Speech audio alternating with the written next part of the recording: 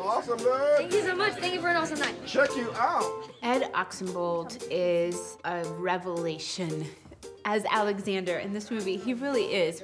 Gosh, he is such a special kid. He was great. You know, he didn't look like he was acting.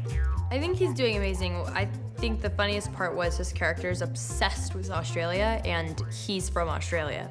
So I think that was just a good coincidence. Randy and Tamara, who were our casting directors, did a wide search. You know, people were sending tapes from all over the world, and so more than 500 kids. But the moment Ed came on, and we were like, oh my God, I like this kid. Miguel surprised us by saying he wants an Australian kid to play the lead, but he just had an instinct that Ed would have no trouble conquering the American accent and that he was worth bringing all the way here from Australia.